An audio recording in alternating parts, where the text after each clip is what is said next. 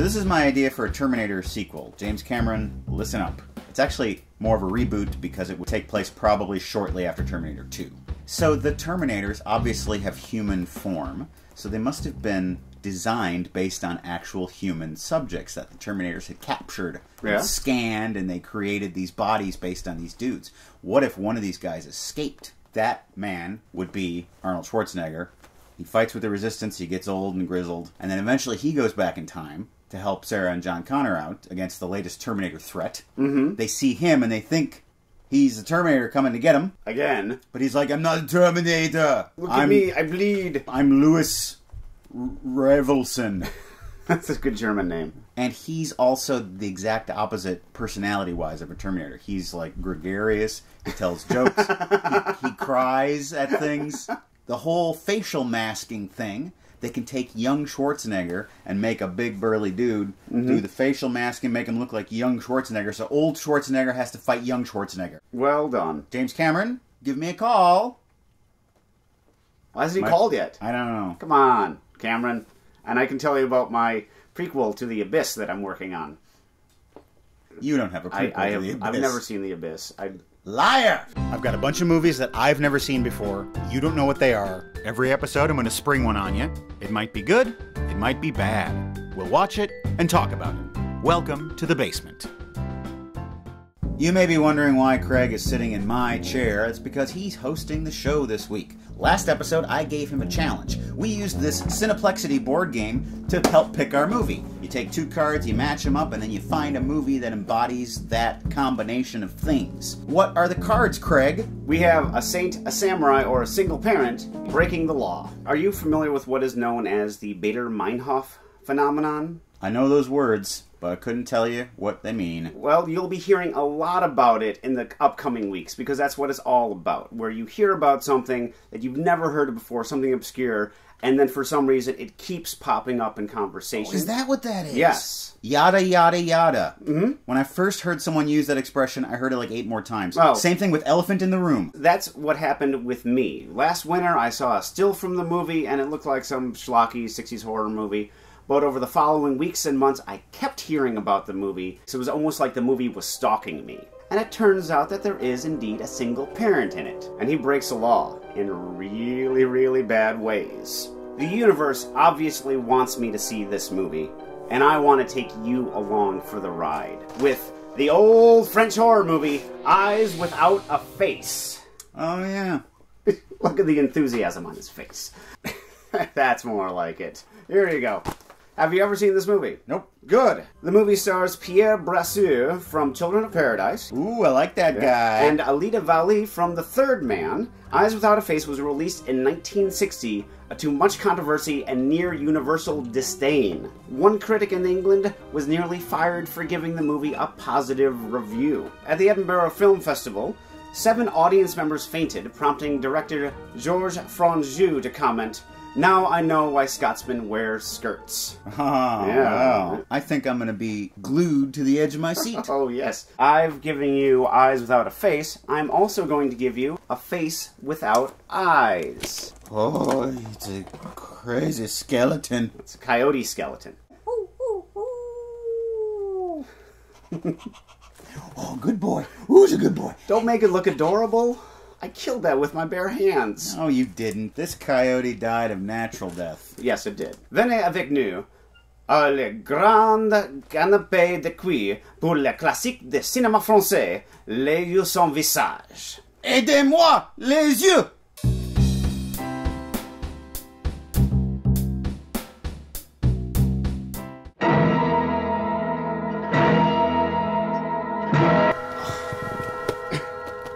Matt, Matt, wake up. Don't be a Scotsman. A woman drives an ugly car through the desolate French countryside. That's one of those dummies that people put in their car so they can use the carpool lane. those were the guys from Wages of Fear. they, they had to take a detour through this movie. The design of this car seems to defy form and function. Turns out she's just off on an errand, dumping a body in a river. Au revoir. Dr. Genessier is giving a lecture on revolutionary medical techniques, where you take a body part from one person and graft it onto another person's body. Il s'agit donc pour nous de modifier biologiquement la nature de l'organisme. L'air. L'air. The police fish the dead body out of the river. De plus, tout n'est pas parfaitement clair. This is a cop nowhere close to the edge, kilometers from the edge. And they call in Dr. Genessier to identify it, since his daughter is missing. And yep, it looks just like her because the woman has no face. Turns out it's not his daughter. Dr. Genessier has been killing women. Christiane is still alive. And she's got no face. And he's been trying to give her a new face by kidnapping young girls and stealing their face and grafting their face onto her face. Regardez-moi. Uh, no, no, no, don't regardez moi. They just need to get her a series of masks that, you know, show different emotions. I'm very happy right now. One second, please. exactly. At the supposed funeral for the doctor's supposedly dead daughter, we meet her fiance, Jacques, and Louise, the doctor's assistant, who was the person in the car dumping the body in the river. So, how many Scotsmen do you think have fainted so far in the movie? Do you think like uh, like two? Between one and two. Okay. Oh, it's in France. I was wondering why they they were talking that crazy gobbledygook. Louise goes out on the town to find another victim, and boy, does she find one. A young student who needs a room. Louise says, I have just the room, and I'll take you there. She drives her through the desolate road. Now we just have to hop this train for three days, and then we'll be at your new room. To the imposing villa of Dr. Genessier. She knows something flaky's going on, but she goes inside anyway. She meets the doctor, who's all scowls. Who just gets right down to business. He's gonna steal her face, man. They drag Edna down to the laboratory. Should have drugged her down here so you didn't have to drag her down here. Oh, I was hoping he'd have a candlestick that he could take out and it would spin around. Put the candle back. And tie her to a surgical table. It's a good thing I'm hidden behind this glass. Wait a minute. Christiane goes down to investigate things in the lab, Time to go freak out the new girl. and Edna's beautiful face. Christiane takes off her mask, Here we go. waking Edna up, and things get bad for Edna. I can't take it. Oh, Oh, McDougal. Tona, fetch me my skirt.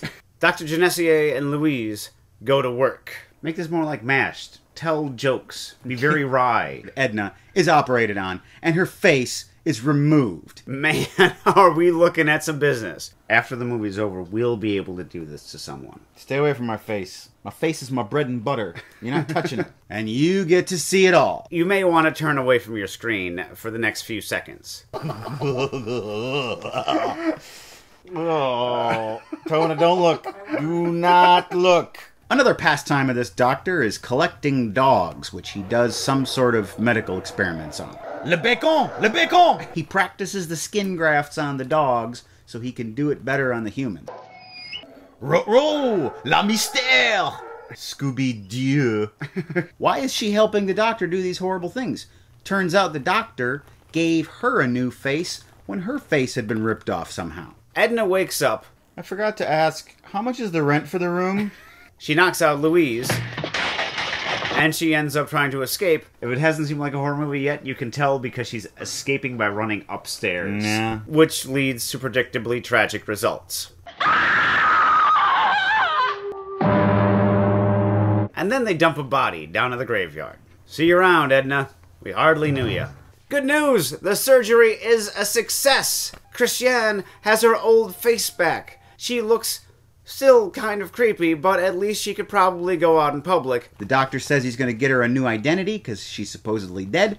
Souris. Souris. Smile like your face is peeling. Smile. Like your tissues revealing. Uh, my crimes. What could go wrong? Everything. Because upon closer examination, the doctor finds out she's going to reject this new face. Take a look at those pictures. Une semaine après la cicatrisation. Le douzième jour, la nécrose. Vingtième jour. And 28 days later, she's a zombie. Looks like Christiane's going back to her old ugly self. Luckily, they didn't throw out that mask. I remember this, huh? Remember this fun thing? She confesses to Louise that she just wants to die. Despondent, Christian calls Jacques just to hear his voice. Hello? Jacques. Louise charges into the room and says, Christian! And then they hang up the phone. But Jacques heard it all. There's something fishy going on with that doctor, he says. He goes down to talk to the police. So the police decide to set up a little sting operation. They take this young girl who was accused of shoplifting. threaten her with prison and say, well, you could get out of it if maybe you do a little favor for us. They send her into the clinic on some bogus malady. Vous souffrez beaucoup. Oui. I think his bedside manner can best be described as menacing. I'm only happy when I'm stealing faces and cutting into dogs. she's discharged, but she's intercepted by Louise in the ugly car and captured. She's on a surgical table. And the cops show up, but he's got everything figured out. They're not going to know his secret because he's smart. Never mind. We'll go. Jacques shows up and he's like, I'm sorry, guys, I messed up. And everybody leaves. Scream, you fool! Come on, let out a good piercing scream. Don't let Mia Farrow scare you. The doctor goes back to do his thing, but what he doesn't know is Christian has set the girl free. She kills Louise. Oh. Oh, right in the pearls. She decides to free all the dogs. Unfortunately for the doctor, he runs into the dogs while they're running out. They get him on the ground and they rip him apart. Woof woof, J'accuse! And the dogs escaped into the hillside. It was the dawn of the planet of the dogs. Whoa!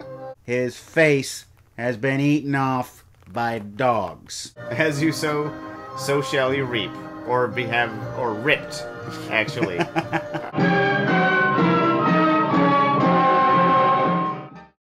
Eyes without a face, or as I like to call it, me without my lunch. that got pretty gnarly at times, Craig. Yeah, this movie came out within a year of two other very controversial horror movies Psycho and the Michael Powell film Peeping Tom. Oh, yeah. And all three of those movies, they just like jump right over the edge of what you could do in a horror movie. There are basically two types of horror movies there's the horror of fantasy.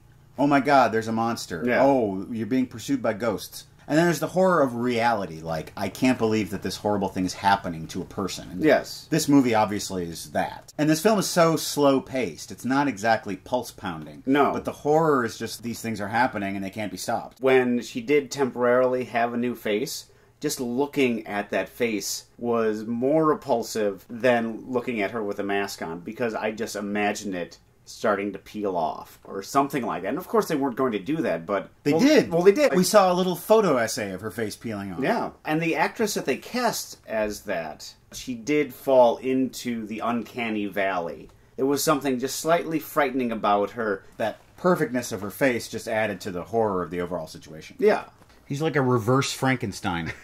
he takes parts from living people and turns them into corpses. but really, this movie you could say is almost entirely a reverse horror movie. The Mad Doctor was very mild mannered. The Igor was very beautiful. and they were both doing what they were doing out of love. Yes, his primary objective isn't even for the science, which is another way that he's like Dr. Frankenstein, but Dr. Frankenstein is so repulsed by what he made, he doesn't even talk about how he did it, in the book at least. Though he talks about it in the movie Young Frankenstein in the book How I Did It. Are you familiar with Grand Guignol? Sure. A mixture of the violent and the erotic, usually violence against women on stage. And you can very much see that this is a reaction to that. And usually the Grand Guignol stories would be about some mad doctor who's doing an experiment. And while this is a much more refined and sterile version of the schlocky horror that was being performed in Paris. Well, a lot of times you think you're watching a medical documentary. Oh, yeah, and yeah. that and that really enhances the the horror of the whole thing. yes, and So uh, this is like Petit Guignol. Ah, yeah, there you go. Look at us, we know French. Get on it, TV tropes.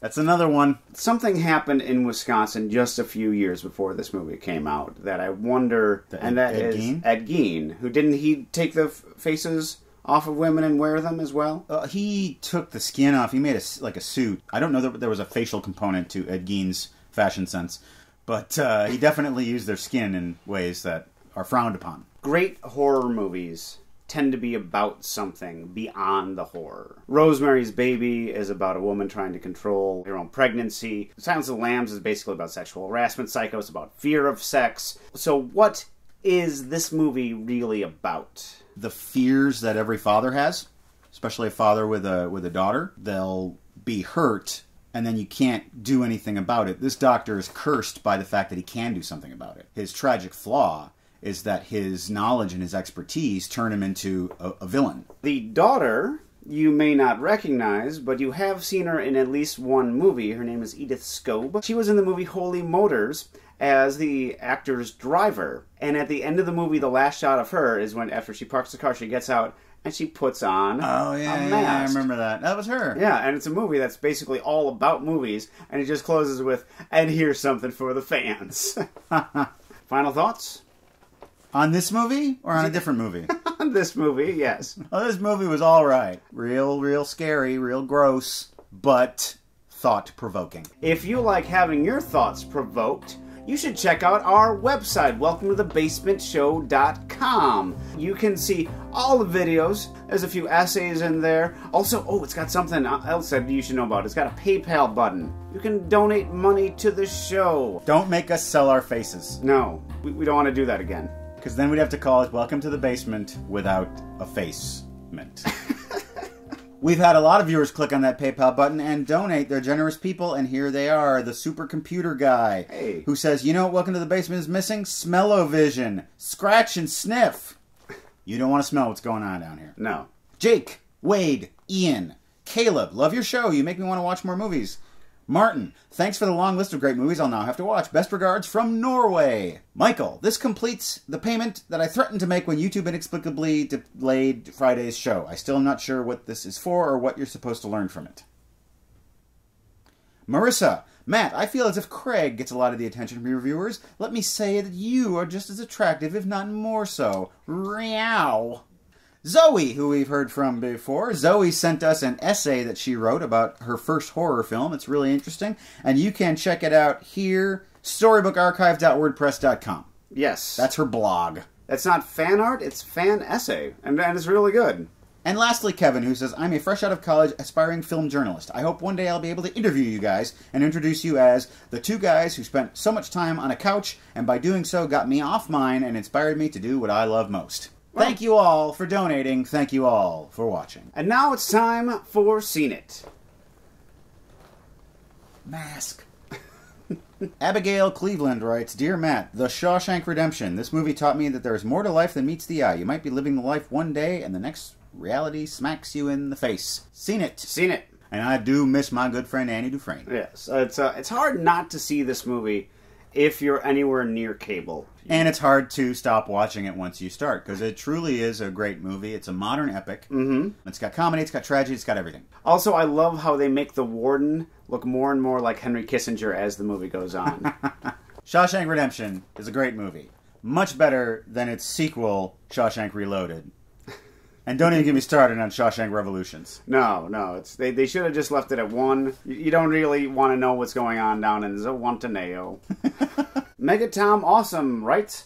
How about one of the funniest, touching movies I've ever seen, Harold and Maude? If you want to see it, see it. And if you want to be free, see it. I have no idea how many times I've seen this movie. I think it's one of the best movie romances of all time. Ruth Gordon was like the funny old lady of the, The 70s. 1970s, yeah. Yeah. It still feels dangerous after all these years. Very influential of Wes Anderson. Mm, very. It's, Yeah. Rushmore is basically Ha- Harold and Maude with no Maude. yes. Well, Bill Murray was Maude. yes. Harold and Maude would have been a lot better if Harold attacked Maude with bees. Michael Moskop writes, A Scanner Darkly. I saw it in an advanced screening and I walked out of the theater with my mind blown. was totally sure that rotoscoping would make a huge comeback. History has proven me wrong, but the film is still really good. Seen it. Seen it. I think this is my favorite Keanu Reeves performance. Perfect casting of Keanu Reeves of just someone who's just slightly burned out, smarter than he looks, but making a lot of dumb decisions. It's really, really good. Could only be done as a cartoon, considering certain aspects of it, and just how it just makes the entire world seems like it's floating, like you're mm-hmm. like you're high yourself. Like you're everyone watching is on this drug. Yes. Yeah. Gunshot to the head. Really, it's it's a it's a trip. A trip.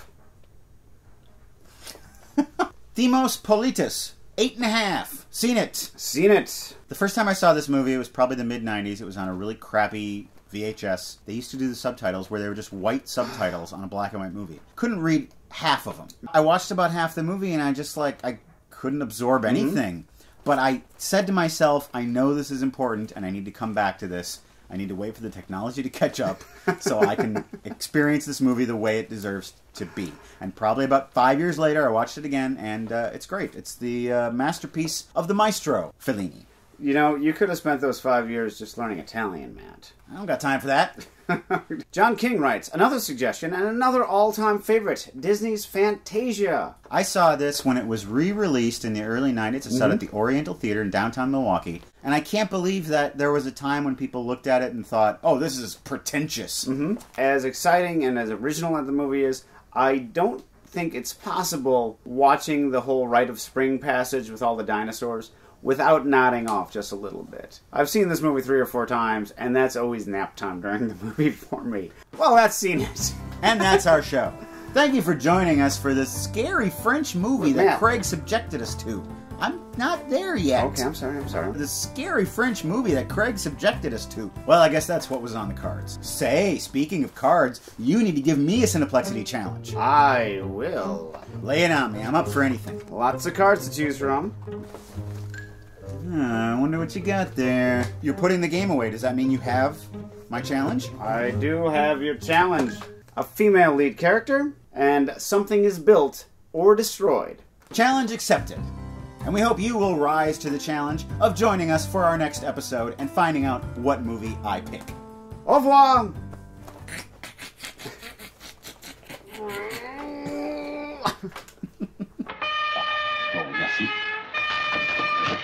It's the beginning of White Riot by The Clash. White Riot, I want to riot, riot. Yeah, Allez, same. vous pouvez disposer. Not a, not a music fan. I'm a